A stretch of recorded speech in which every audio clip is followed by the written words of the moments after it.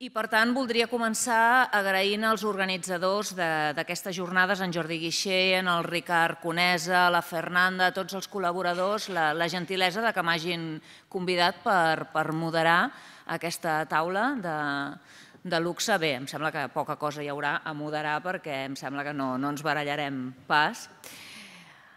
Una mica després de l'esplèndida sessió anterior, on s'han parlat de les polítiques de memòria en l'àmbit estatal, i l'anomenada llei de memòria històrica, perquè la doctora Cuesta deia, bé, potser més que llei de memòria històrica hauríem de parlar de llei de la memòria democràtica. És igual perquè també, com han dit els dos ponents anteriors, la, la, llei, la que anomenarem llei de memòria històrica espanyola, espanyola eh, portava un, llit, un, un títol molt llarg, però que evitava la paraula memòria. Una cosa és que ens sembli més indicat si parlem de memòria històrica o de memòria democràtica, però el que és significatiu és que aquesta llei no parlava, no, no incluïa, amb un llarguíssim títol, no incluïa la paraula memòria, com si el tema memòria eh, produís una mena com d'al·lèrgia. El que farem ara, per complementar aquesta tarda, és eh, analitzar com han estat aquestes lleis i polítiques de memòria, ja no tant a Espanya, sinó a Catalunya. Ho hem fet millor, ho hem fet pitjor, ho hem fet igual, de quina manera ho hem, ho hem fet. Voldria fer una breu introducció en el sentit de que en aquest moment en què molts parlen d'acabar amb el règim del 78, ja no parlem del règim franquista, sinó que ara parlem del règim del 78, potser el tema de la memòria, les seves lleis i les seves polítiques són un dels exemples més clar d'aquesta transició que no es va fer en pla d'igualtat. Jo crec que quan ens posem a analitzar el règim del 78, el tema de la memòria és un clar exemple d'allò que no s'ha acabat de resoldre bé. Voldria citar en Reyes Mate, que deia «Estaban ofreciendo», referint-se a aquest període de la transició, «estaban ofreciendo a los desiguales la democracia al precio, eso sí, de que no revolvieran el pasado y se olvidaran de las causas de las desigualdades presentes. Para asegurar la convivencia en el futuro había que renunciar a la justicia. Este modo de proceder es el del manifiesto obsesionado con pactar principios entre herederos de las fortunas y los infortunios, en lugar de abrir el expediente de les responsabilitats. M'agrada molt aquesta, aquesta frase no? de la assegurar la conveniència en el futur, per, per això s'havia de renunciar a la justícia, perquè durant molt temps l'oblit l'oblit era el que políticament era el correcte. En canvi, la memòria és allò que era desestabilitzador. Aquestes lleis de memòria que s'analitzen, aquestes lleis que sembla que estan com la granota, hivernant, eh, aquestes lleis de memòria són lleis que ens han arribat, fixeu-vos bé, 30 anys després de la restauració democràtica. I què va passar? Que es van trobar amb un relleu generacional, amb ciutadans, que quan arriben aquestes lleis estan amb una maduresa política, que no havien passat pel franquisme, i que el que reclamaven era una recuperació molt més sòlida que no pas la que es va fer al principi de la democràcia. Aquests són ciutadans, són els que hem anomenat moltes vegades les terceres generacions, són ciutadans que no estan conformes amb polítiques de memòria dosificades, escanyades i que posen límits a la mirada crítica del passat i que d'alguna manera tracten a la, a la ciutadania com a eternes criatures tutelades. Però no és només que s'hagin queixat les víctimes i els descendents, que també són víctimes per allò de la transmissió eh, transgeneracional. No només és que es queixin els afectats que porten un dol personal, sinó que també es queixa tota una societat que porta un dol eh, col·lectiu. És, com ens han dit a la sessió anterior, perquè han sigut molts els, els organismes, Amnistia Internacional, el Consell d'Europa, comissions de les Nacions Unides, que han criticat mm, ja no només la, la, la llei de memòria històrica espanyola, sinó les polítiques de memòria en general. Per què? Per ser contràries al dret internacional, per negar els principis de justícia, veritat i reparació, perquè no s'ha fet un reconeixement jurídic de la víctima i l'ha reduït a l'àmbit privat amb una mena com de paper, com deia eh, eh, en, en Martín Pallín, un paperot que era el certificat de víctima, per la seva equidistància, per ser unes lleis de punt final, per traspassar la responsabilitat a, a, a la societat civil. Recordem que aquí, en els millors moments de l'aplicació de, de, la, de la memòria històrica, de la llei de memòria històrica, és a dir, amb un govern socialista en majoria, amb un president net d'afusellat, a lo màxim que vam arribar és que les associacions tinguessin subvencions per anar a exhumar. Mai l'Estat ha pres aquesta responsabilitat. Sovint es va dir que la llei de memòria del 2007, la llei de memòria espanyola, no va produir cap resultat tangible i ara el que voldrem analitzar en aquesta taula és veure si això ha passat el, ha passat el mateix amb les normatives catalanes. Enzo Traverso ens parla de la judicialització de la memòria i adverteix del perill del que pot ser una arma de doble tall. Per un cantó està la resposta a una demanda social de justícia, però per l'altre el perill està en utilitzar el dret com un dispositiu de control, sotmetent a la història a una interpretació normativa. Passo tot seguit a presentar els ponents que m'acompanyen i que és un luxe estar aquí amb ells. En Josep Cruanyes, president de la Societat Catalana d'Estudis Jurídics, faré un, una biografia molt curta perquè tenen unes biografies i uns currículums extensíssims. Ell és advocat i historiador, és secretari de la Comissió de Llengua Catalana del Consell de, de Col·legis d'Advocats de Catalunya, treballa des de fa temps, com segur que sabeu, en defensa dels drets lingüístics dels catalans i ha publicat obres com La Generalitat en la història de Catalunya, Història de Catalunya, Catalunya o els drets lingüístics dels catalanoparlants. Però probablement la seva presència avui, entre altres aspectes de la seva trajectòria eh, professional, està lligada al fet que ha estat un dels principals instigadors del retorn dels papers de Salamanca a Catalunya, tant a través de la Comissió de la Dignitat com amb la publicació del llibre Els papers de Salamanca, l'espoliació del patrimoni documental a Catalunya.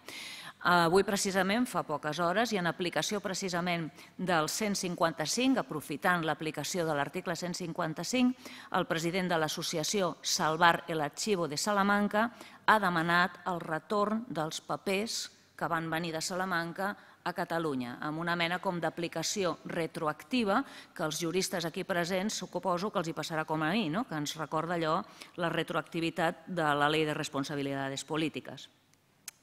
I tenim també la Montserrat Duc, eh, catedràtica en Història Contemporània de la Universitat Rovira i Vigili. Allà dins del grup, eh, té un grup de, de recerca que és Ideologies i Societat a la Catalunya Contemporània, on ha desenvolupat diverses línies de, de recerca. És autora o coautora de diverses obres, com Història, Història de la sociabilitat contemporània, de l'associacionismo a les redes sociales, El gènere de la polis, la trajectòria de les dones en el catalanisme polític, una modélica transición a, la democracia en España, nos conviene revisitar, resignificar la transición española a la democracia o los partidos en la transición, las organizaciones políticas en la construcción de la democràcia espanyola, entre molts d'altres. Si us sembla bé, passo la paraula a en Josep Cruanyes, que ens parlarà una mica de l'evolució de les lleis de memòria a Catalunya, les diferències amb la llei espanyola, la llei de fosses i l'anul·lació dels Consells de Guerra. Quan vulgui, Josep. Moltes gràcies. Uh, una, uh, avui que em trobo en aquesta sala, ara estava pensant que és un bon lloc el, els organitzadors que han triat aquesta sala perquè recordo doncs, el, com en, aquesta, en aquest lloc haver assistit en el final del franquisme doncs, a multitud de, de reunions d'estudiants i, i de polítics doncs, eh, en aquell moment lluitant per, la, per una societat millor. I llavors, per tant, és una bona sala i segur que es traspua totes aquestes reunions que s'hi han fet aquí, segur que es traspuen l'ambient i, per tant, és un bon lloc. No volia deixar de comentar, encara que sigui molt breument, ja que estem parlant d'aquesta trobada organitzat per un organisme europeu, eh, comentar una qüestió que de vegades no recorda gaire i que com a punt de partida ho voldria recordar, que és que Europa i la Unió Europea en aquest sentit, i sobretot atès l'actitud la, de la Unió Europea mostrada en els darrers dies i setmanes respecte a vulneracions de drets humans doncs que ha mirat i ha xiulat i ha mirat el, més enllà, doncs que, i que parla molt del nazisme, de la pau a Europa i del que ha representat la Unió Europea, s'oblida d'una cosa, s'oblida d'una cosa que també hauria de fer memòria, i hauria de fer memòria democràtica, i hauria de ser un element de la política europea, que és que en bona part, si el franquisme es va consolidar i es va mantenir aquests 40 anys, a part, evidentment, de, del triomf de la guerra i de l'ajut dels alemanys, un cop havien desaparegut doncs, els feixismes i el nazisme, doncs la Unió Europea ja li va semblar bé que el Franco existís i primer tapant-se el nas i després doncs, ja eh, més d'una manera més agradable, doncs van donar suport a que aquest règim es mantingués. Per tant, eh, el fet de que es mantingui des d'un punt de vista històric, s'hagi mantingut el franquisme en aquest país i l'hagin patit, doncs en bona part no només és, respons és responsabilitat doncs, de les nostres incapacitats, sinó també de les capacitats i l'actitud doncs, dels països europeus. I això penso que en l'Europa d'avui la Unió Europea hauria de tenir en compte. Bé, dit, dit això, doncs, eh, per començar. Eh, quan parlem de les polítiques de memòria a Catalunya, ens és difícil comptar aquests 10 anys. Ja sé que, evidentment, parlem de dir, bé, la llei de la memòria històrica marca un, un punt de partida, o com a mínim un punt important, el que havien sigut polítiques, diguem, disperses. Però des d'un punt de vista de Catalunya, tot i que no sigui una llei catalana, però sí que té un, un pes molt important des del punt de vista de Catalunya, és, en aquest sentit, la llei que es va fer el 2005 en relació precisament al retorn a Catalunya dels, dels, documents, dels documents a Salamanca. És el, la primer, és el primer pas que es fa a l'estat espanyol i és important remarcar-ho, amb què es fa es va una mica més enllà del que s'havia anat fins a llavors. Fins a llavors què s'havia fet? Fins a llavors s'havien fet polítiques de eh, compensacions eh, eh, exfuncionaris, eh, exmilitars, a gent afectada per la guerra, vídues etc. S'havien fet totes unes polítiques d'aquestes i, i després, i després, quan s'havia parlat de patrimoni, eh, abans s'ha dit, em sembla, el, el, professor, el, Eh, Martín Pallino ha dit, diu, bé, no s'ha fet res amb el tema del patrimoni. Sí que s'ha fet, i cal remarcar-ho perquè és una mica pervers. L'Estat només es va preocupar dels sindicats i els partits. O sigui, els sindicats i els partits sí que es van preocupar del retorn del patrimoni, però van deixar a tothom penjat. L'única vegada que en aquest sentit es, es planteja un retorn d'una qüestió espoliada, com són documents d'entitats, de particulars, etc., motiu de la guerra i, de més, per ser utilitzats per finalitats repressives, com tots sabem, eh, és amb aquesta llei. I això és un, és un element diguem, que en aquell moment anunciarà el canvi d'actitud que es produirà en aquell govern que després, poc després, després es farà, eh, coincidirà amb la llei, amb la llei de, la, de la memòria. Eh? Per tant, però de tota manera, si hem de remarcar una qüestió, és que tant des del punt de vista de l'Estat com des d'un punt de vista de Catalunya, no s'ha plantejat mai d'una manera global plantejar-se una política, una legislació des del punt de vista del que representa la, la memòria, la memòria democràtica, però les polítiques que marca la, Comissió de Drets Humans de les Nacions Unides de veritat, justícia, reparació i polítiques de no repetició.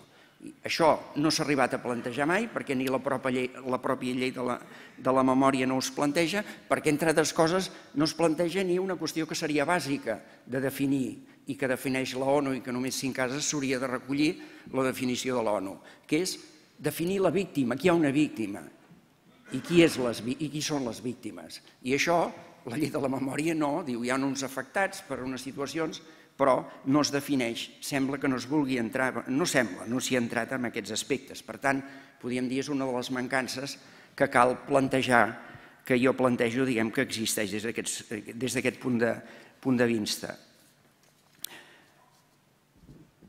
La primera, per tant, analitzant què representa, la primera llei va ser aquesta de 17 de novembre, la llei 21-2005 de 17 de novembre, del retorn de documents a Salamanca, que el títol és el retorn a Catalunya dels documents a Salamanca.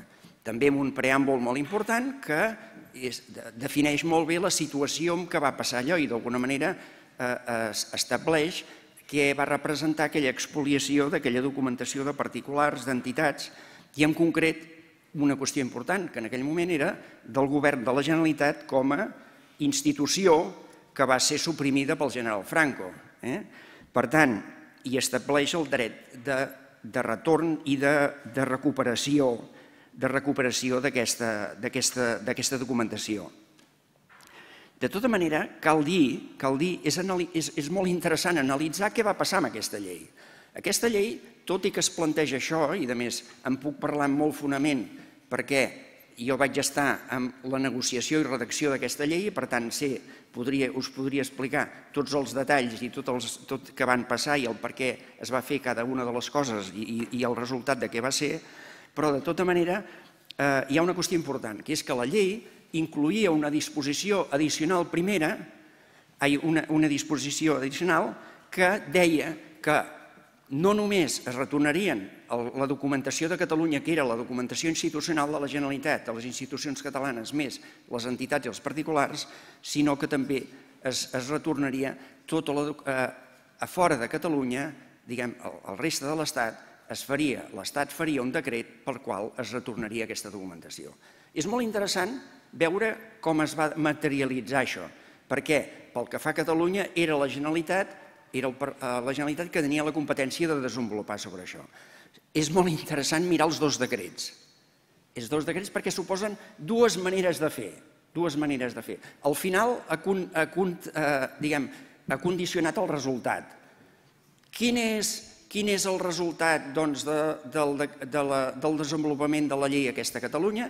El desenvolupament de la llei a Catalunya, malgrat les dificultats d'aconseguir la documentació aquí, tan bon punt la Generalitat ha tingut aquesta documentació, ha fet mans i mànigues, ha fet mans i mànigues per retornar aquesta documentació.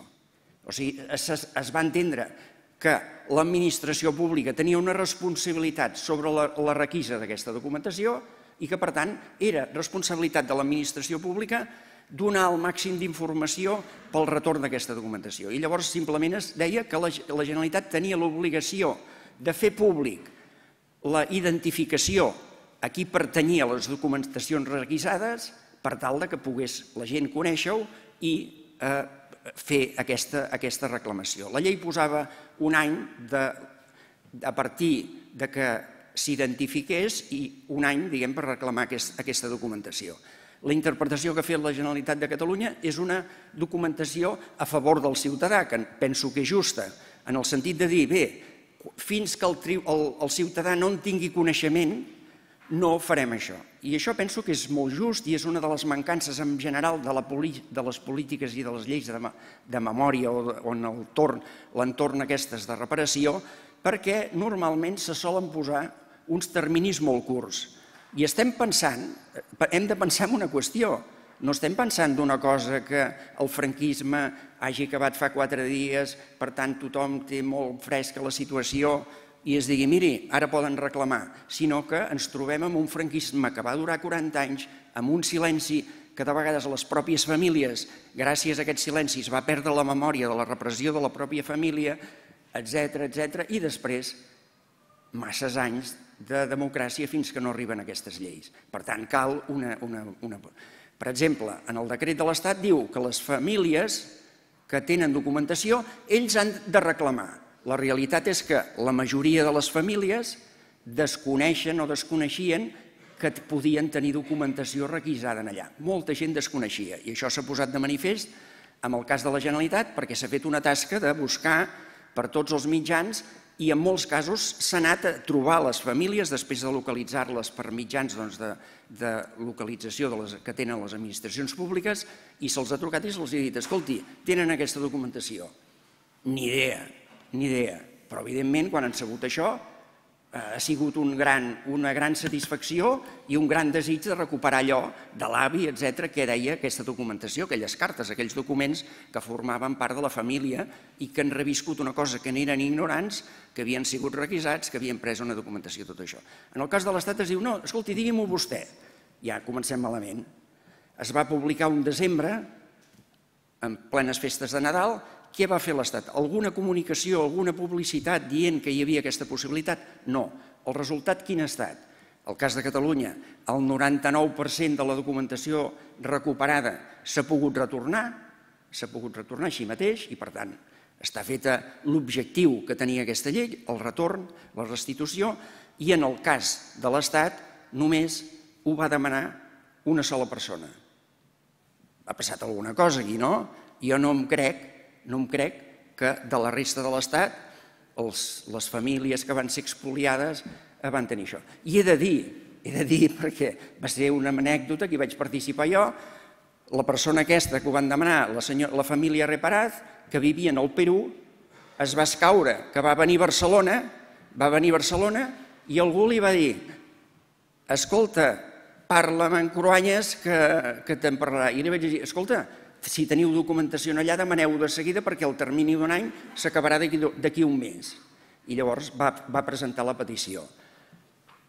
Un resultat lamentable, lamentable.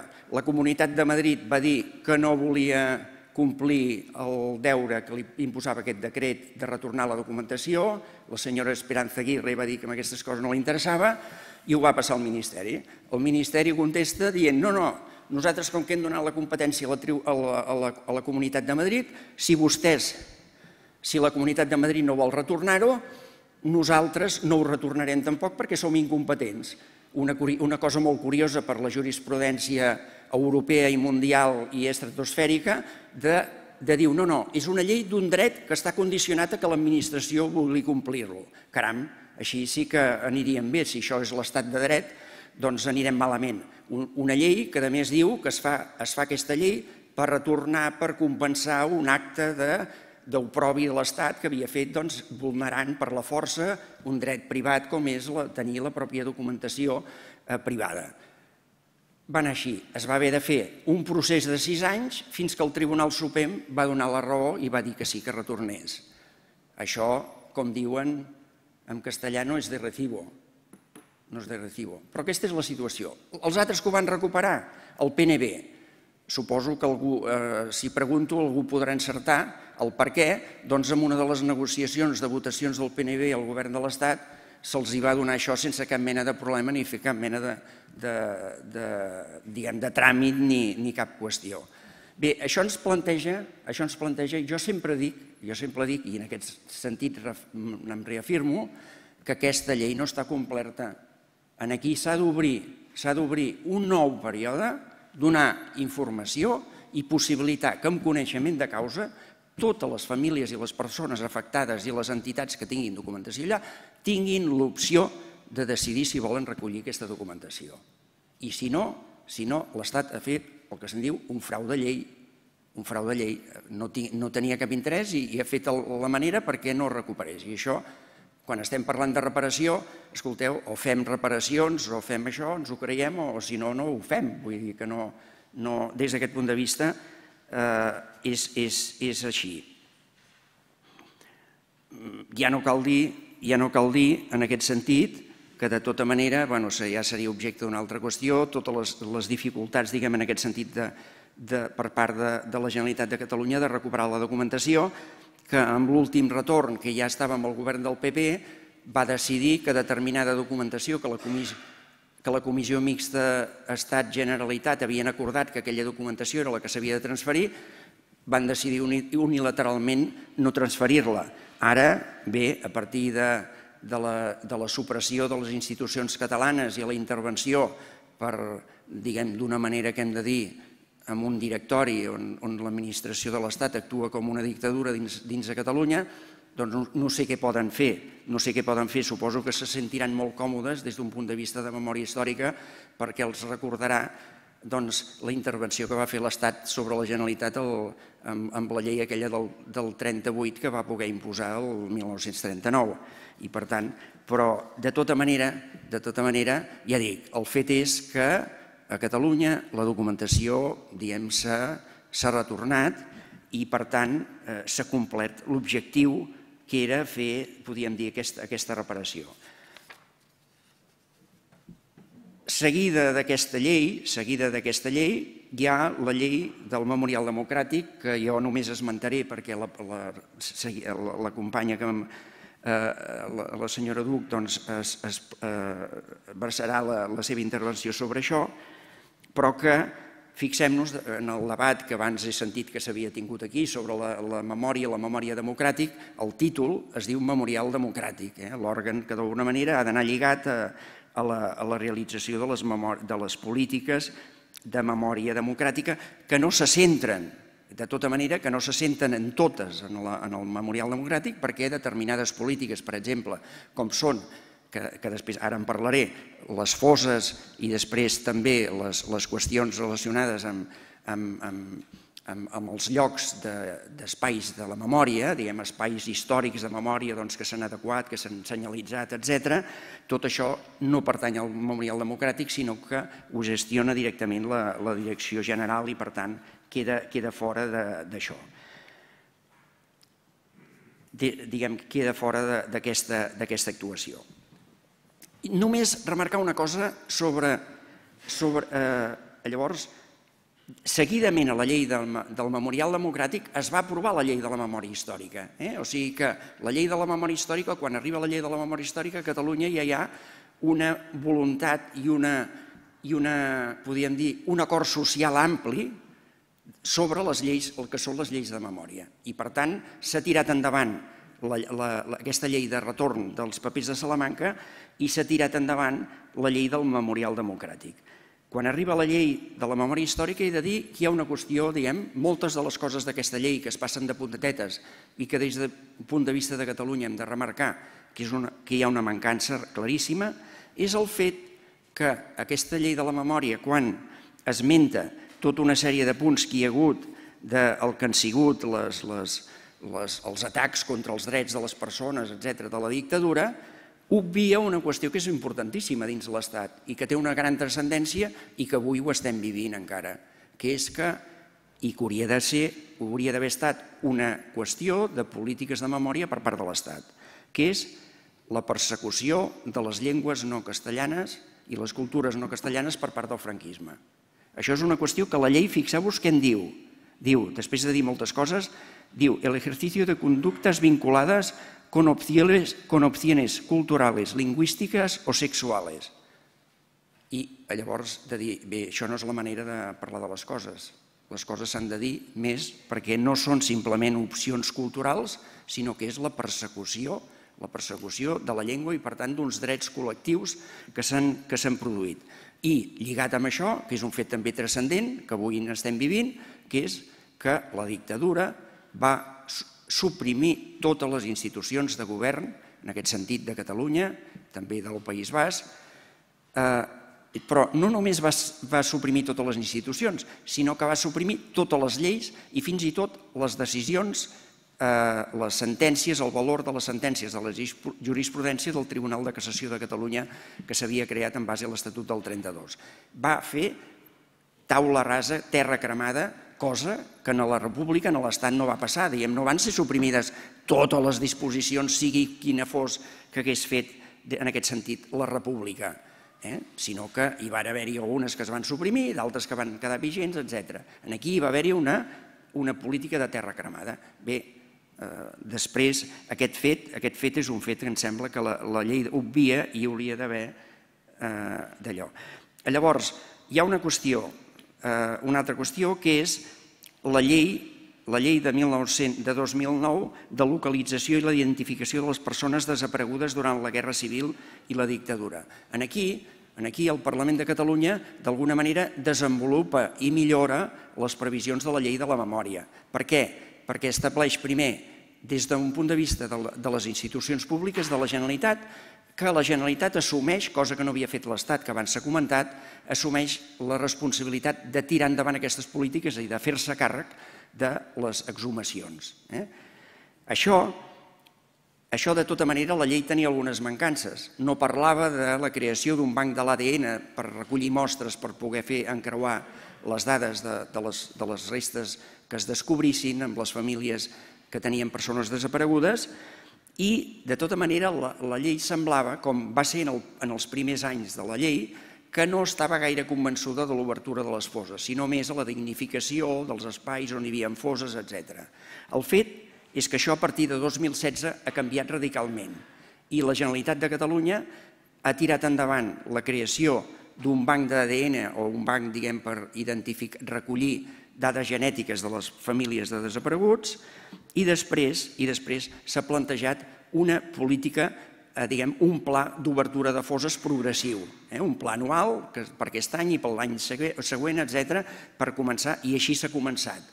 Pla, pla que hem de dir, ha quedat interromput de manera incomprensible perquè era un pla aprovat amb un pressupost, etc, degut a la intervenció de l'Estat a l'article 155, que en aquest país s'ho està carregant tot. Eh? O sigui que en aquest, sentit, en aquest, en aquest aspecte s'ha obert fa poc una fosa i estaven previstes i pressupostades unes altres foses dins aquest exercici i sembla que quedarà parat per doncs, eh, gràcia de, no sé exactament d'aquí, de més enllà de l'Ebre, doncs, que, es, que es creu doncs, en dret de, de fer el que li sembli.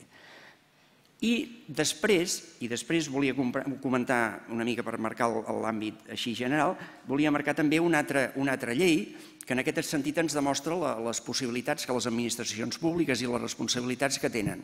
Una de les qüestions que aquí havia eh, causat molta polèmica eren aquelles plaquetes que tenien la, de l'Organització de la Vivienda de, del, del franquista, que hi havia el llogo i les fletxes, de les vivendes de protecció oficial. Es va donar moltes voltes, els ajuntaments es trobaven que deien bueno, és que aquestes plaques estan en un edifici privat, com, com ho hem de fer? La Generalitat, que tenia de fet les competències de vivenda i per tant del que són les vivendes de protecció oficial, l'any 2007 i acabo de seguida, van, van aprovar una disposició a la llei dels pressupostos de la Generalitat d'acompanyament, modificant la llei, de, la llei de la vivenda de Catalunya, establint que totes aquestes plaques havien de ser retirades en el termini d'un any. Les, les comunitats de propietaris ja cada mes havien deixat de tenir efecte, perquè això era mentre durés la protecció d'aquelles vivendes. Per tant, havien de ser totes retirades. Això és, és, són disposicions que creen una, un element de seguretat per dur a terme aquestes polítiques. I per tant ara, les que no s'hagin retirat, entre altres coses, la pròpia llei diu que la comunitat pot ser sancionat amb 9.000 euros de multa si no han retirat aquestes plaques, o com a mínim diguem, es pot fer un acte eh, o els ajuntaments poden fer amb una força legal, diguem, amb una força normativa, eh, disposicions d'aquí. Eh, hi ha i, I després una altra qüestió que voldria comentar, i si en cas després podem ampliar més si, si, si els, els interessa, que és una llei molt important, perquè abans el senyor Martín Pallín ha dit que una de les qüestions que estava pendents era l'anul·lació dels processos franquistes. Doncs bé, a Catalunya, a Catalunya, el 4 de juliol d'aquest any, es va dictar una llei que era la llei que es diu la Llei de Reparació Jurídica de les Víctimes del Franquisme el Parlament de Catalunya, assumint, assumint el fet que eh, la llei declara que pel fet que les disposicions sobre els tribunals dels Consells de Guerra que es comencen a fer a partir del ban de guerra del 28 de juliol del 1936, totes aquestes disposicions van contra la legislació republicana vigent. I no només això, sinó que dins d'aquesta legislació republicana hi havia l'Estatut del 32 que donava àmplies competències en justícia per part de la Generalitat de Catalunya respecte als tribunals ordinaris, civils, penals i mercantils, eh, la justícia ordinària. I per tant, aquestes, aquesta llei havia vulnerat, aquesta, aquestes disposicions franquistes havien vulnerat la legislació vigent i per tant just, aquests tribunals eren il·legals. Això declara la llei. I per tant, com a tribunals il·legals, malgrat, malgrat que també els procediments no eren justos, no s'havien complert les garanties de defensa, etc etc etc.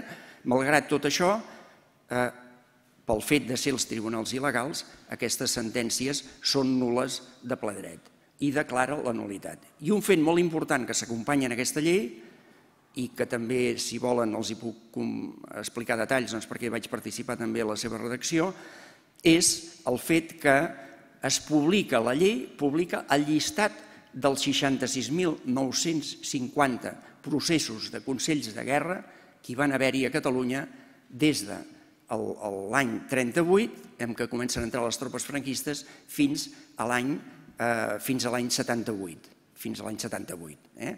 Doncs durant tot aquest període hi ha I es publiquen el llistat de noms. Fet, entenc, transcendent amb el sentit de la reparació eh? en el sentit que el que es pretén és una reparació dels ciutadans i, per tant, fer públic, fer públic el nom de totes aquestes persones. que molts d'ells n'han tingut, se n'han perdut la memòria, diguem, aquestes famílies segurament han desaparegut i ningú els reivindicarà, però davant de tota la societat s'ha fet públics tot, tot aquests noms. Eh?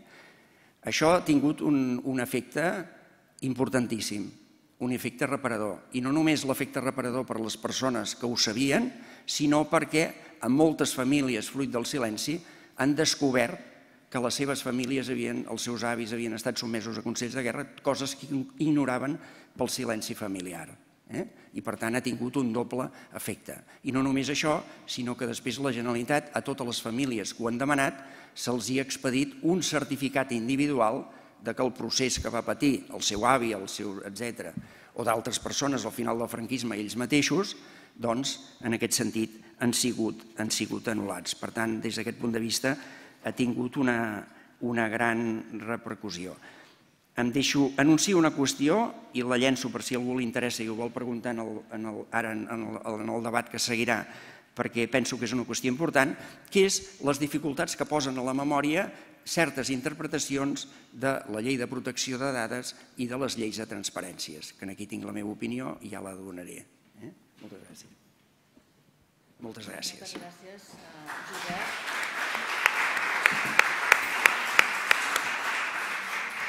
Bé, passem la paraula a la Montserrat Du, que ens farà una exposició sobre la història del Memorial Democràtic, aquests 10 anys de, de polítiques de memòria, la importància de la, de la inclusió de la llei del memorial a l'Estatut de, de Catalunya i potser també farà referència a aquell debat primigeni que va haver-hi en aquell moment de, sobre l'abast de la memòria, no? allò que diem-ne vulgarment es diu eh, els dos bàndols, no? si els incluïm a tots dos o, o no, i els principals projectes que s'han desenvolupat, que, que ha desenvolupat des de la seva creació, el memorial, com han influït els canvis de govern en aquestes polítiques de memòria i potser també una mica aquesta bicefàlia no? entre el Memorial Democràtic i la Direcció General de, de Memòria Democràtica. I tot això en 20 minuts, perquè és la mala sort que han tingut de tenir una periodista a la taula, que són d'aquests que tenim els timings marcats. O sigui que, Montserrat...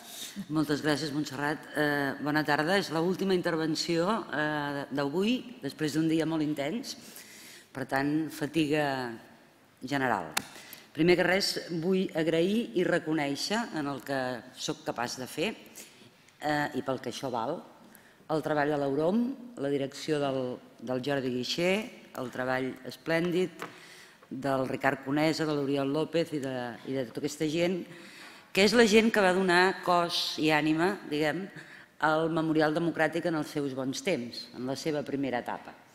I que per vicissituds de tots conegudes i que ara anirem comentant, eh, han trobat refugi i acollida i han redimensionat aquest objectiu en un marc europeu a partir de la Fundació eh, Solidaritat de la Universitat de Barcelona.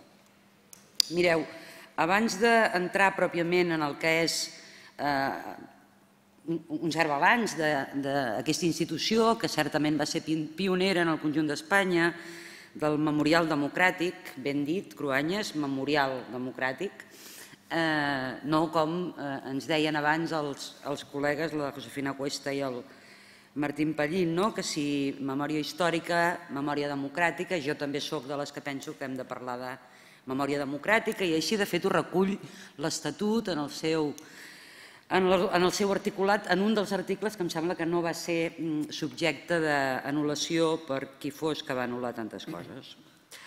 Bé, mm, jo comparteixo eh, el títol d'aquest encontre, d'aquest congrés. És una tesi. No hi ha una hipòtesi, la, la confirmo, l'hem anat confirmant, totes les intervencions que s'han produït i suposo que les que es produiran demà. No? Eh, mireu, eh, a mi em sembla que les polítiques de memòria eh, són més àmplies que les polítiques de justícia, veritat i reparació pel que fa a les víctimes. I una societat democràtica s'ha d'enfrontar críticament al seu passat i, per tant, les polítiques de memòria han de tenir una agenda més àmplia que el reconeixement i la restitució de les víctimes, que també, que també, però no exclusivament, no en exclusiva. I intentaré explicar per què. Eh, I una altra idea important abans de començar. Estem en una dialèctica estat-societat.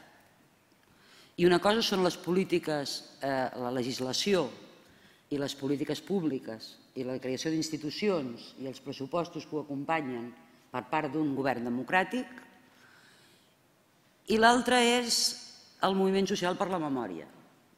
Sense moviment social per la memòria, i això es configura, em sembla que podríem estar d'acord al canvi de segle, per altra banda, res peculiar.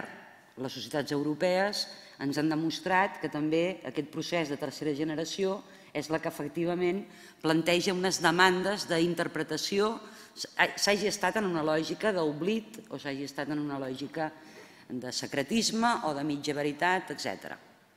És la tercera generació, l'experiència comparada així ho acredita, la que es troba amb energia d'articular eh, en l'espai local i, i després es va extenent com una taca d'oli, com una gota malaia, es va extenent a altres camps. Per tant, eh, sense moviment social per la memòria, difícilment entendríem l'articulació d'institucions memorials. Eh, jo crec que són simultanis, però que tot sovint, i altres societats europees i llatinoamericanes així ho indiquen, hi ha abans una demanda i una vindicació que és d'ordre polític, per tal que s'articulin aquestes, aquestes polítiques. Eh, jo crec que a Catalunya hem tingut i tenim encara dos tabús, dos tabús importants per entendre l'abast de les nostres polítiques de memòria. Les reclamades pel moviment social i les articulades i executades per les institucions, siguin en, en format legislatiu siguin en polítiques públiques. El primer tabú és la violència de la guerra civil. Som una societat, i no vull fugir absolutament de la fascinació per les xifres, però som una societat que té el doble de víctimes de violència a la rereguarda que el nombre de víctimes per la repressió franquista. 7.500 versus 3.484. I com que les polítiques franquistes van ser intensives, així com les polítiques democràtiques han sigut temorenques, les polítiques franquistes van ser intensives i persistents durant 40 anys. Jo he escrit en algun lloc que finalment el franquisme guanya la batalla a la ciutat democràtica, encara avui en dia. I molts exemples s'han donat al llarg del dia d'avui. Per tant, tenim aquest primer tabú que d'alguna manera participa d'aquella lògica de tots vam ser culpables, que en darrer terme portaria a allò altre, molt debatut historiogràficament parlant, que és echar a l'olvido. Eh, hem de recordar que eh, el, la clau de legitimació del nostre sistema democràtic no és l'antifranquisme, és la modernització. I per determinada lògica de modernització, la memòria de la guerra, de la repressió franquista, i per alguns també la de l'antifranquisme, feia nosa. Segon mite, perdó, segon mite, segon tabú, incòmode, incomodíssim, perquè és clar, eh, si sostenim que la guerra civil va ser una guerra eh, que va caure sobre Catalunya, interpretem les coses d'una manera. Però si assumim que la Guerra Civil a Catalunya va tenir una el cop d'estat va tenir una resposta popular que va, que va evitar que per una vegada més aquell cop d'estat triomfés, sinó que va esdevenir guerra civil i que hi havia una defensa popular i obrera contra aquest cop d'estat, per tant, en defensa de la república, en una conjuntura internacional de feixisme-democràcia, aleshores les coses són diferents. En aquest context de coses, hi va haver franquistes catalans. Els ajuntaments són una peça bàsica en la construcció del nou estat i, i no van ser, nomenats, van, ser, van ser nomenats, com era la lògica, no van ser mig malament elegits fins al 48, les gestores, però les gestores les integrava gent del poble. Vull dir amb això que és una memòria, és una, és una memòria traumàtica i complexa perquè fa evident les fissures i les contradiccions d'una comunitat nacional, evidentment. Això li dona una complexitat afrontar, en general, les polítiques de memòria. I pel que fa a la transició, només dic això, si voleu hi podem, podem tornar després al debat, ja va fa molts anys que Vázquez Montalbán va escriure que la transició és el resultat d'una correlació de febleses. Feblesa del règim, dels reformistes del règim i feblesa de l'oposició. És en aquest context de coses que no serà fins al canvi de segle que es crearan unes condicions amb aquella fita, amb aquell acte, ara no sé si era el Liceu o el Palau de la Música, el Liceu, una vindicació d'algunes associacions eh, de família, però sempre de familiars, de víctimes, però sempre amb, eh, no despolititzant el, el tema. Això em sembla molt important, perquè hi ha una línia vindicativa humanitària de drets humans que ve a despolititzar el conflicte que fins i tot arriba a una cosa que es va inaugurar no fa tants anys, que és el Memorial de les Campusines, en el que és un espai de dol, però no sabem gaire per què hi són aquella gent allà i quin era, quin, qui, qui, qui era, quin era el debat de la Guerra Civil i de la Batalla de l'Ebre i, i del disseny d'intentar eh, lligar la Batalla de l'Ebre amb l'eventual eh, Guerra Mundial i, per tant, d'un desenllaç conjunt i més favorable als interessos de les classes populars i de la democràcia. No ho sabem, això allà. És un espai és un espai sagrat, ecumènic, en general, tot el discurs dels espais de la batalla de l'Ebre, tot l'articulat al voltant del Comebe, és un discurs bastant ecumènic, en el que el resultat és tots van patir molt i, i, es, i a Stalingrad feia molt de fred i... D'acord? Bé, mm, aleshores, com anem caminant cap al memorial? Doncs aquesta realitat d'associacions de presos polítics actius eh, van informant la demanda de polítiques públiques que acaben tenint un compromís polític en el denominat Pacte del Tinell del 2003, quan a Catalunya es produeix l'alternança democràtica. Però fixeu-vos quina complexitat tenia la qüestió que jo tinc aquí les fites de la tramitació d'aquest projecte de llei, el, govern tripartit, o sigui, el, pacte del Tinell és de finals del desembre del 3, el, la tramitació del projecte tardarà 20 mesos al Parlament de Catalunya. 20 mesos.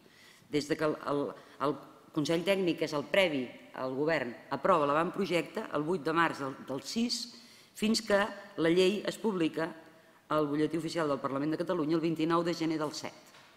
20 mesos. Què ens està indicant això? Que òbviament hi ha un conflicte de memòries, que hi ha una dificultat objectiva a l'hora de veure com s'afronta aquest, aquesta qüestió, institucionalment, amb quina governança, quin abast tindrà.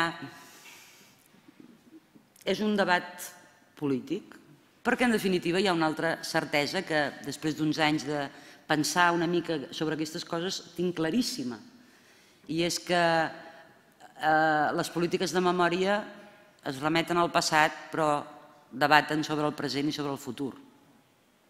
És a dir, respecte del tractament del passat estem eh, situant una agència, unes, eh, unes idees vençudes, uns protagonistes, etc que puguin ser icones i que puguin ser valors d'una societat en construcció. 20 mesos per aprovar aquesta llei.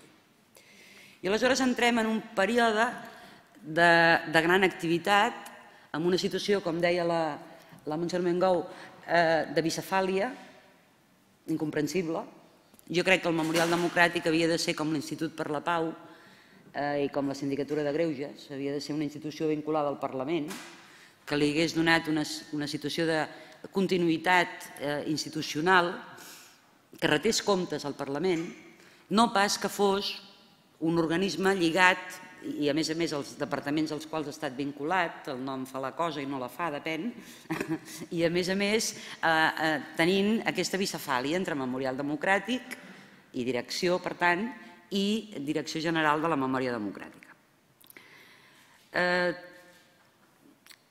les coses s'enforteixen en tant que mm, l'article 54 de l'Estatut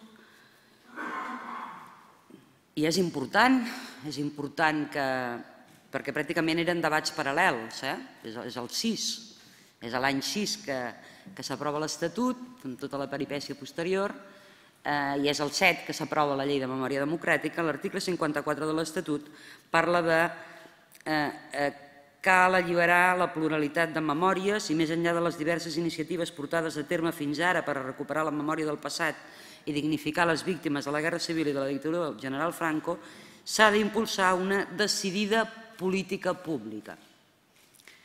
Per tant, una condemna explícita del règim franquista, el sistema democràtic ha de reconèixer la memòria i la dignitat de totes les víctimes i també les de la violència política incontrolada a la rereguarda republicana, especialment de les que es van produir en els primers mesos de la guerra, etc etc etc Cal una rehabilitació plena de totes les persones, organitzacions i institucions represaliades durant la guerra i el franquisme per tal que els supervivents, llurs familiars, llurs amistats i les generacions futures se sentin reconegudes d'una manera justa.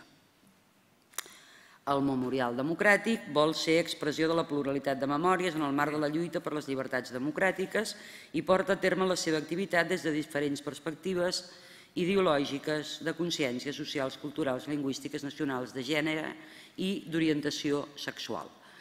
Finalment, el Memorial Democràtic se centra, s'estableix un marc cronològic per a la seva programació en l'etapa 1931-1980. I en això connecto amb les coses que ens deien a la taula anterior. Eh, és l'etapa democràtica de la Segona República Espanyola la que eh, es constitueix una mica en, eh, en horitzó d'expectativa, malgrat que diu eh, que no, no s'exclouen tradicions democràtiques anteriors al 31.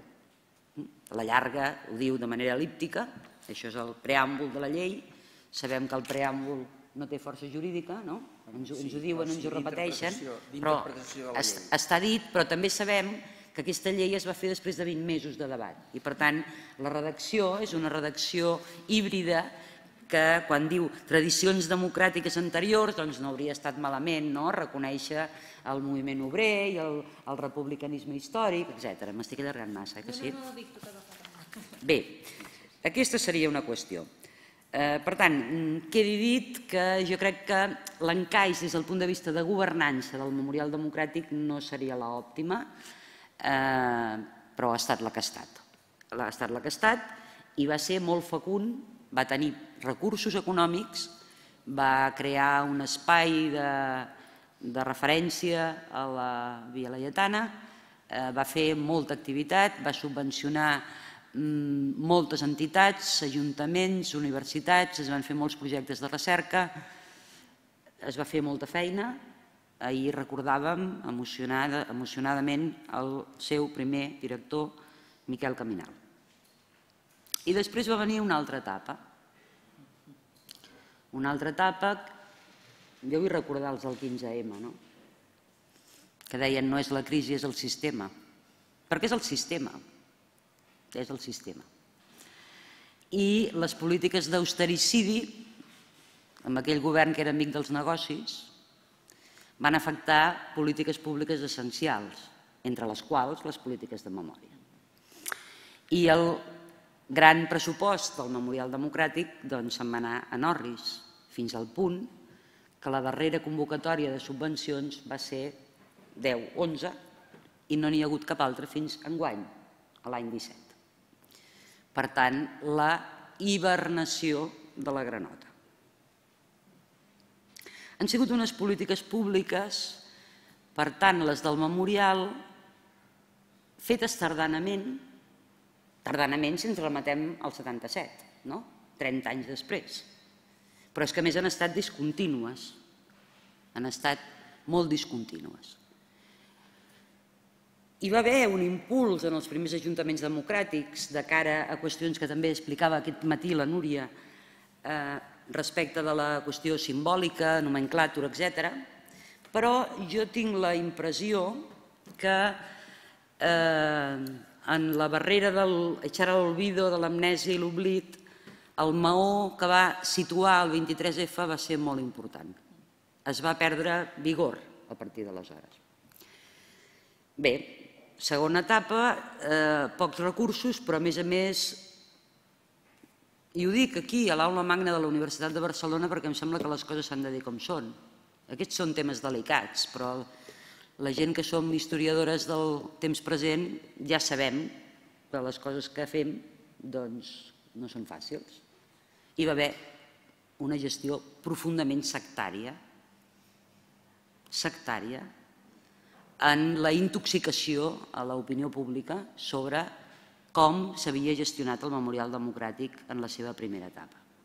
Jo crec que absolutament impresentable al servei d'interessos no crec que fossin especialment espuris.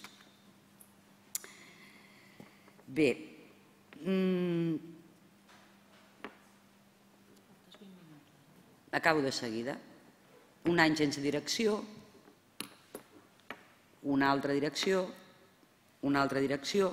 Malgrat això, s'han consolidat eh, moltes coses. Vosaltres podeu anar a la pàgina del memorial, a la pàgina del departament, i us trobareu, eh, a banda de les coses que ara esmentava el Josep Cruanyes, dels, de la, jo crec que aquesta tercera etapa, a partir de l'any passat, finals del 15, Eh, ha posat èmfasi, potser per diferenciar-se del primer memorial, ha posat èmfasi en el tema de la llei de fosses, en la geolocalització de les fosses del Priorat i les Terres de l'Ebre, en un programa d'identificació genètica, eh, i, i això està bé, però repeteixo, una política pública sòlida de memòria democràtica per un país com Catalunya ha de treballar en aquestes qüestions, però ha de tenir una ambició una mica més àmplia.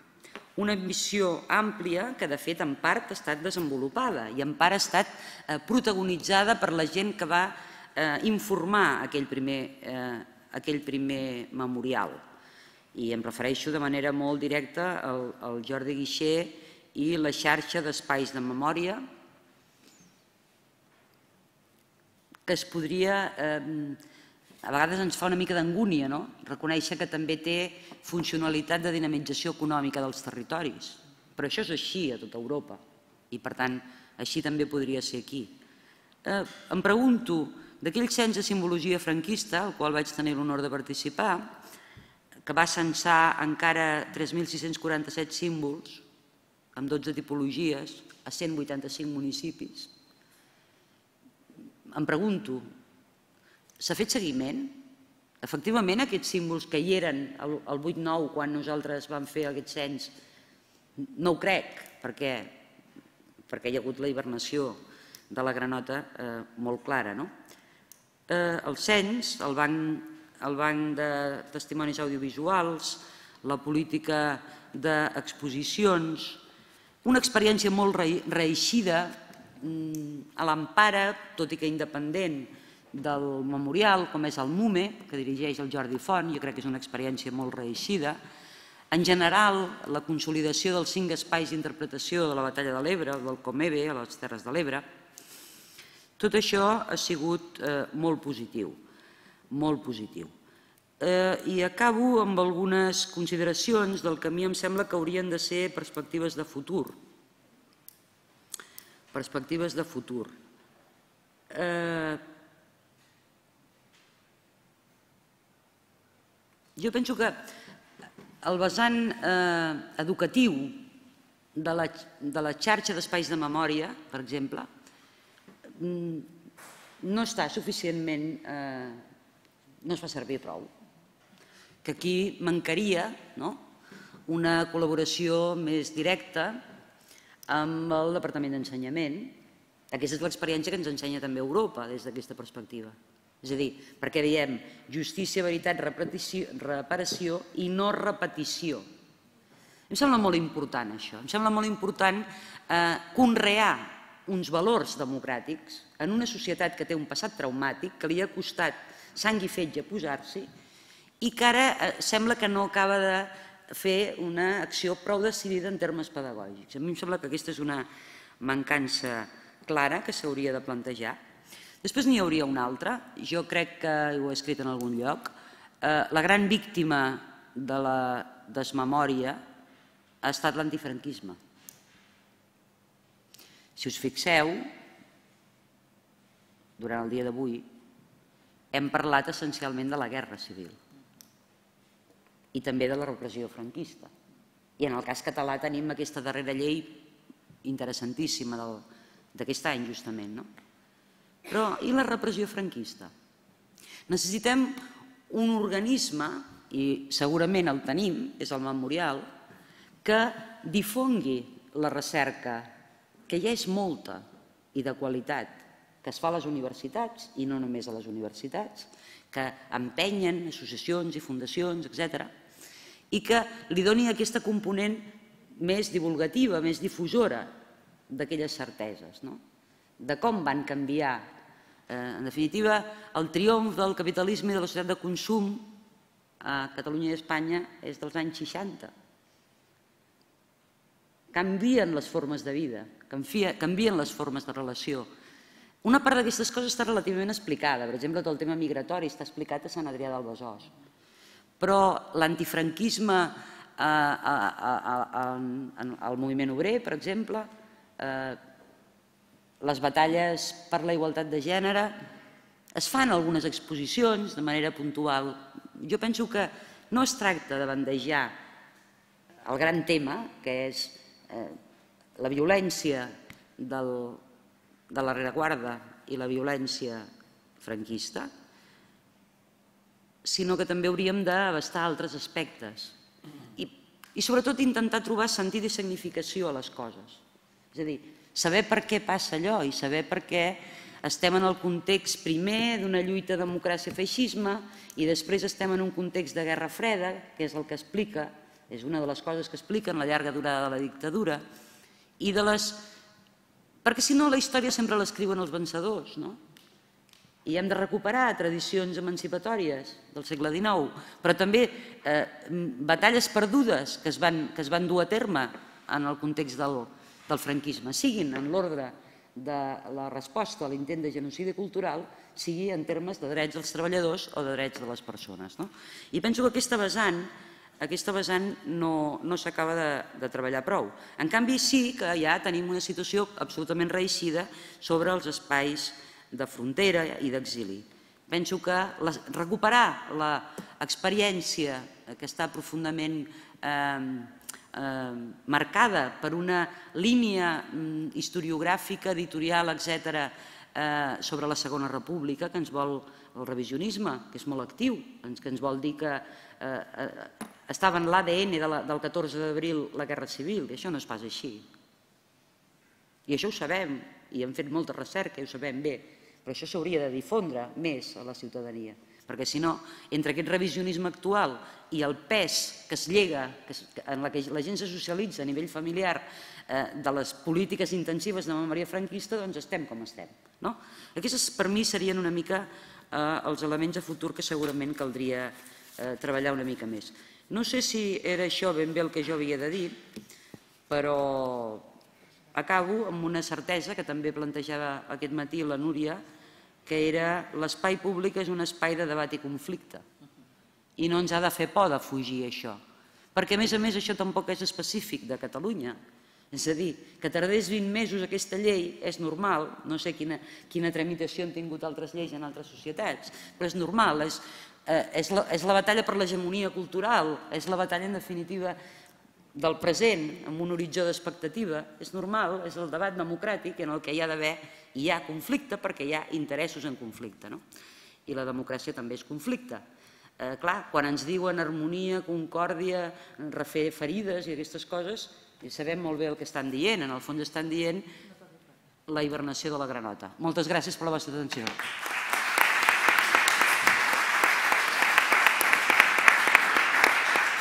Moltes eh, gràcies, Montserrat.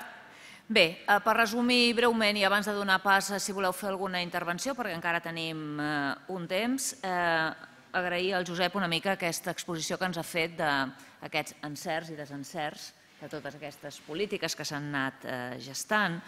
Eh, potser a la granota en parli hem de recomanar que continuï hivernant perquè el panorama no és massa, massa encoratjador, però sí que li podem donar, li podem insuflar una mica de, d'escalforeta. Abans la, la, la Montserrat Duc esmentava el, el banc audiovisual, eh, ha esmentat diversos mm, guanys, diverses fites que s'han aconseguit tot, analitza, tot des de l'anàlisi crític i tot eh, està molt bé en aquests espais de reflexió, però dir, també està bé que ens insuflem una mica de caloreta, perquè si no acabarem com la granota, una mica garrativats. I el Banc de Memòria, per exemple, en aquests moments, amb la incorporació dels fons dels originals de, de TV3, eh, que és un acord que es va fer ara abans de l'estiu, en aquest moment és el banc oral més de memòria oral més gran d'Europa. Llavors, això també està bé que ho diguem. Eh, també potser em fa l'efecte que sense voler treure pit d'una manera tonta, podem dir que potser la correlació entre les demandes socials i les polítiques i les institucions de memòria han estat una miqueta més reeixides a Catalunya, en el sentit que deia la Montserrat, aquests sense aquests moviments socials que empenyen no hi ha polítiques de memòria. Mm?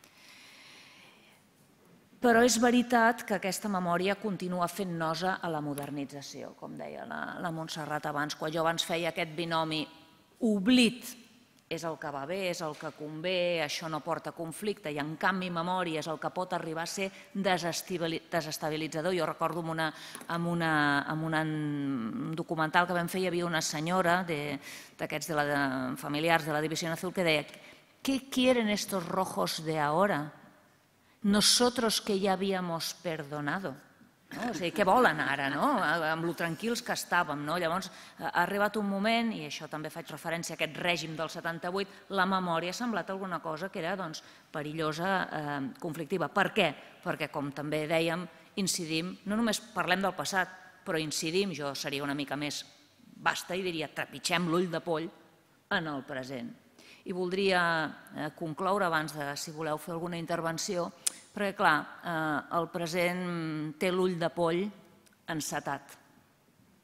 Quan ens plantegem, de vegades un es pregunta si les lleis de memòria, a part de donar una mica de, de gra a les víctimes, han estat un parapeto per no fer justícia, no ja amb els butxins o amb els victimaris, que molts d'ells ja no viuen, sinó per no, per no ofendre un establishment que a dia d'avui continua ostentant els centres de poder polítics, mediàtics, econòmics i de molts consells d'administració.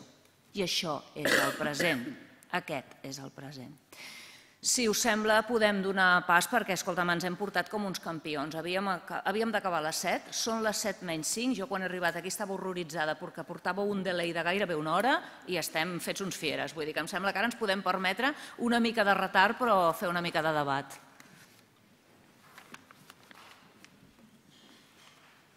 Vencido y derrotado el ejército. Sí, no sé, feu-li un boca a boca a la granota, si més no.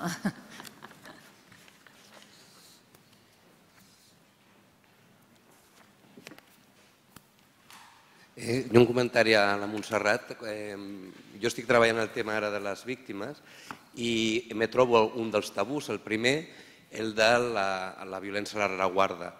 I, i s'ha de reconèixer i treballo en aquesta índole, però jo penso que hi ha un matís que s'hauria de fer o creus que s'hauria de fer que mm, aquesta xifra superior de, de, de gent morta a la rereguarda després arriben els franquistes i és inferior a la xifra però potser no s'hauria de fer el matís que eh, hi ha l'oportunitat d'aquesta aquest, eh, eh gent de fugir o no fugir en un moment donat. O sigui, els franquistes no van poder fer més perquè hi ha un altre volum, que és l'exili.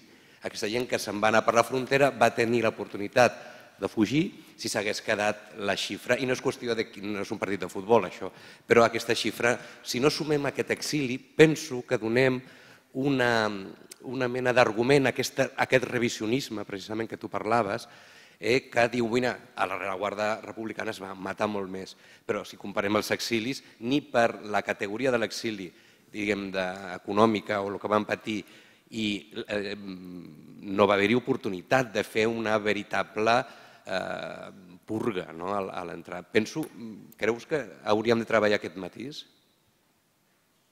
Sí, sí clarament. Mira, eh, a, a molts congressos a la historiografia catalana i hispànica hem debatut molt a l'entorn de la asimetria de la violència, la violència a la rereguarda en un context d'estat en dilució, amb components espontànies, tot i que els estudis de Martín Ramos sobre les patrulles de control és una veritat incòmoda, indicarien que tot el front d'esquerres participaria de les dinàmiques de violència. Però és clar que la violència es produeix sobretot els mesos de juliol, agost i després ja entrem en una fase de tribunals populars en una altra etapa. No?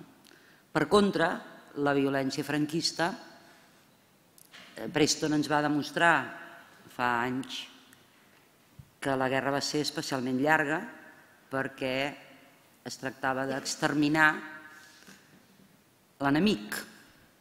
I, i l'enemic eren els republicans i els liberals i els demòcrates i els comunistes i els anarquistes. Calia extirpar. En definitiva, calia extirpar totes aquelles cultures polítiques que durant el segle XIX havien plantejat alternatives a l'estat quo, no?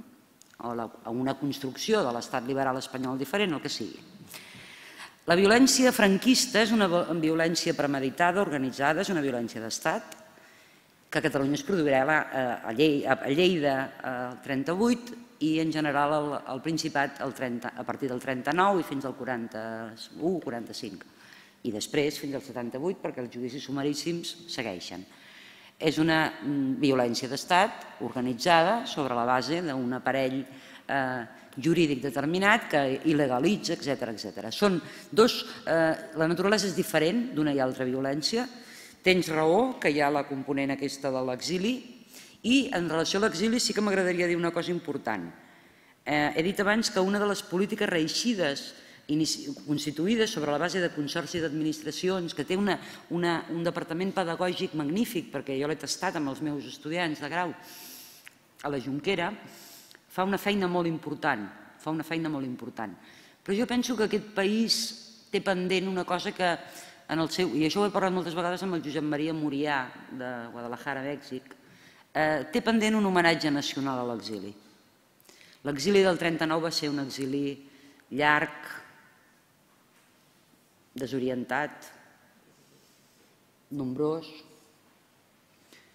alguna cosa va intentar, concretament Esquerra Republicana i, i, i Josep Lluís Carot Rovira en aquest sentit, però jo penso que encara mm, caldria fer-ho, no? No sé si s'ha de dir l'any de l'exili, no sé si aquest tipus de commemoracions encara tocarien. Eh, el, el Cruanya segur que dirà coses més pertinents. No, no, no. Potser, potser més impertinents. No, jo, jo amb aquesta qüestió, i és una qüestió que jo penso que quan parles de trauma sobre aquest tema, eh, ens hem de plantejar treure'ns el de sobre i afrontar, perquè eh, una, dels, una de, les, de les problemàtiques que ha tingut i, i de les mancances o de les rèmores que ha tingut precisament aquestes polítiques i el propi memorial fins i tot a les, a les primeres èpoques, precisament és no saber o no voler afrontar aquesta qüestió. Hi ha una cosa que en, en història i en tots els aspectes, diguem, si no ho fem nosaltres, ho faran els altres. Jo us he de dir que, eh, us dic una anècdota perquè és, és significativa i en l'òrgan rector del memorial hi han representants diversos partits polítics. Jo hi soc en representació, diguem, de les, la, la, la, la part científica eh, del Consell Assessor que el formen les universitats, l'Institut d'Estudis Catalans, etc. I en allà hi soc amb aquesta, no com a qüestió política. Hi ha un senyor del PP molt particular, que és com una caricatura d'ell mateix, Però, de tota manera, va dir una vegada una cosa que li vaig dir, mira, dic, és la primera vegada que estic d'acord amb tu. Diu, amb el tema de les, dels caïdos por Dios i por Espanya, deia, eh? diu, el que hem de fer és desfer aquest mite. Ho va dir ell, eh? Diu, desfer aquest mite perquè la majoria de gent que van morir amb aquesta violència no eren ni franquistes ni s'ho havien plantejat. És més, és més, trobaríem gent republicana que doncs, eh, de mala manera, per exemple, el CIM potser els va matar, els va matar amb una coneta, i en allà li van fer un monument li van penjar un, una, una llufa que posa caído por Dios por Espanya tal dia. I, evidentment, aquest, això diguem, és, és un afront per, aquesta, per la memòria d'aquestes aquest, persones. I penso que ho hem d'afrontar, això. De la mateixa manera que la Generalitat durant la guerra fins i tot va anomenar doncs, un jutge, ja ho tenim estudiat, la Soler ho ha estudiat i això, un jutge especial doncs, per investigar aquesta violència activa i després també sabem per què no es va tirar endavant, perquè els partits polítics van intentar desinflar tot allò, perquè en sortien escaldats molts d'ells, però avui és el, és el moment, diguem, d'afrontar-ho això. S'ha d'afrontar. S'ha d'afrontar i precisament anant al fons i, i, i, i no, deixar, no deixar encara, perquè si no sembla que siguin allò els, els, els, les víctimes de la repressió i els caïdos per i per Espanya, i això no, aviam, no és una veritat certa i, per tant, el trauma, el trencament d'aquest tabú va, passa per agafar el toro per les banyes i fer-ho. Vull dir que això és una qüestió que... d'això. I després volia comentar una altra cosa, molt breument, que és que estic d'acord amb això que planteges de dir les polítiques de memòria des d'aquest punt de vista, eh, de, de, de, que, que té a veure amb la veritat, eh, en el sentit de la recerca, de la difusió, de la difusió en la societat d'aquesta memòria, d'aquestes investigacions i, per, per tant, d'aquesta veritat. Però també ens hem de plantejar que les polítiques de veritat i de justícia són les que ja haurien d'estar resoltes. O sigui, les, les polítiques de memòria són unes polítiques que en el temps s'han d'anar fent, però les polítiques de reparació i justícia a 30 anys, a, a, a tants anys de la mort de Franco, haurien d'estar resoltes. Per tant, podríem dir, jo diria, i faria un prec general, és a dir, escolti, hem d'anar, això ho hem de resoldre. En un temps, en un temps, el màxim de curt possible s'ha de resoldre. A Catalunya hem, hem reparat, s'han anul·lat els processos dels Consells de Guerres fets a Catalunya. Bé, hem tancat una, una porta, falta el top, falta tot això. Les qüestions de les indemnitzacions, és injustificable que l'Estat només hagi afrontat els partits i els sindicats i el senyor Negrín, amb tot el respecte per la família Negrín. Però per què només la família Negrín se'ls ha de compensar de la pèrdua del seu patrimoni? Per què? Això s'ha de resoldre. O el paper moneda agafat, etc. Totes aquestes qüestions s'han de resoldre i acabar-ho en el temps millor, més curt possible, perquè les, la ciutadania ha de veure, diguem, les, els que van patir, les víctimes que van patir, han de veure en aquest sentit la reparació d'aquests danys que han sofert. I, evidentment, una altra cosa és les polítiques diguem, de memòria, que en aquest sentit s'han doncs, d'afrontar, estic d'acord amb moltes qüestions que has plantejat i que han d'anar tirant endavant diguem, i són de cara doncs, al futur, no són d'aquest moment demanada i amb això clouríem l'acte. Si no hi ha més paraules, ho deixaríem aquí. Digues. Precisió a eh, una cosa que has dit tu a la Montse, ara al final, que has dit que no hi ha cap dia dedicat a l'exili. I sí que hi ha, des d'aquest any, 2017, el dia 5 de febrer, la Generalitat de Catalunya, a proposta precisament de l'Associació d'Amics del MUME, i també s'hi va afegir l'amical de Mauthausen i l'amical de Ravensbrück, es va, doncs, fer, es va declarar el dia 5 de febrer Dia Nacional de l'Exili i de la Deportació. I ja aquest any es va fer un acte, un gran acte, que em sembla que hi havia en Pep Cruanyes, també, que vas venir, eh, i es va fer un acte a la Junquera, després es va anar a Gullana a la Bajol i després va acabar a Argelers amb la participació d'unes doncs, 700 o 800 persones. Vull dir que amb això sí que, bueno, només volia dir, precisar-ho, no, no, no passa res perquè m'ha encantat eh, la teva, la teva eh, intervenció. I, que, I també està previst doncs, que això continuï, eh? Vull dir, a partir del 2018 també. Bé, només era això. Eh? Molt bé, moltes gràcies per aquesta apreciació. Jordi, Jordi perquè ets el jefe, eh? perquè si no era no, l'última. Em permet una... Bueno, també per interpel·lació directa o indirecta. No, no, una pregunta per tancar una mica el dia també després d'aquest dia tan intens, i és, ja que s'ha debatut i com a mínim ha quedat palès que ens costa reconèixer també els nostres errors, no?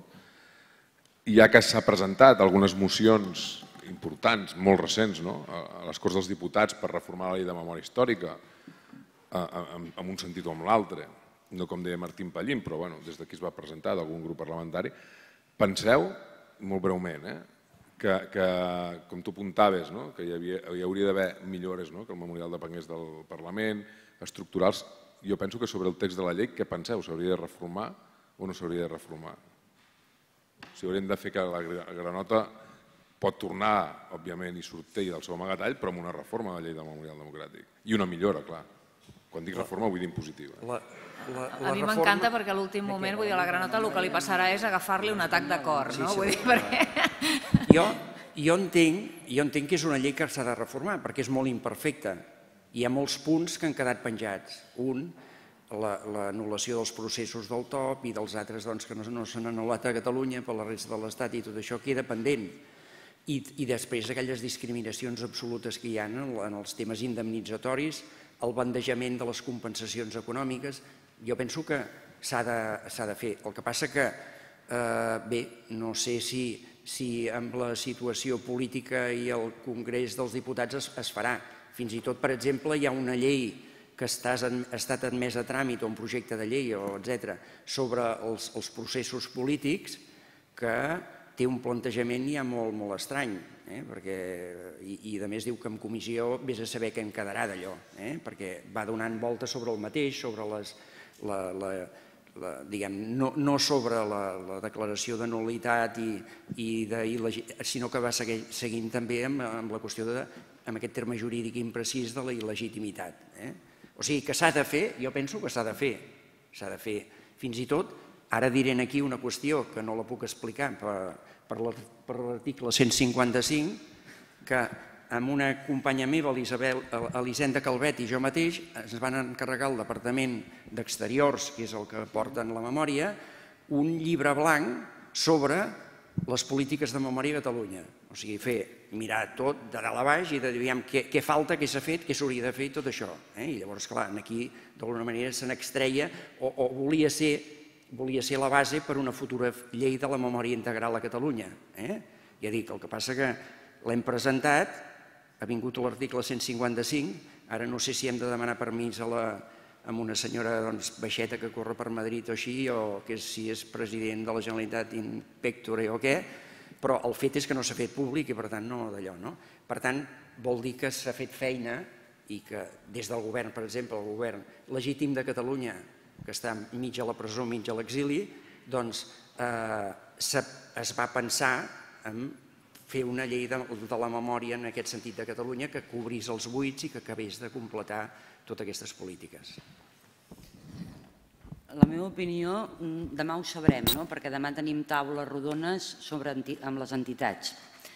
Eh, si la, com explicava la professora Cuesta i la comissió d'experts aquell, dictamen que no es fa públic, la segona comissió i la llei, amb les inconcrecions i les febleses que té, és fruit d'una correlació parlamentària.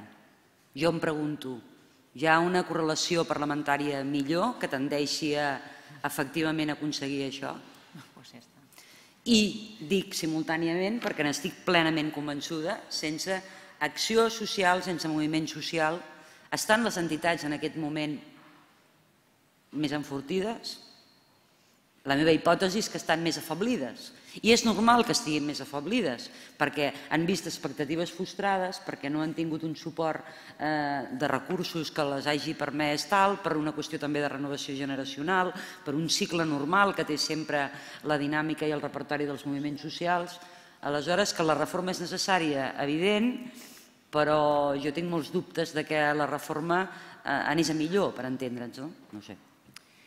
Bé, doncs per concloure, per animar aquesta hipotètica reforma, però potser per acabar d'enfonsar a la granota, eh, volia acabar amb una breu frase d'Elissac Rosa que diu «Esta recuperació, referint-se a la recuperació de la memòria i les polítiques de memòria, esta recuperació són com golosinas, engordan pero no alimentan. Engañan al hambre y hasta saben bien, pero no son muy recomendables desde el punto de vista nutricional. Moltíssimes gràcies i a reveure.